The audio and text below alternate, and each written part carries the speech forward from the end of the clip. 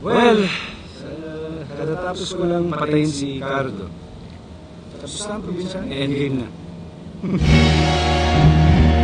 Tapos lang probinsya, endgame na.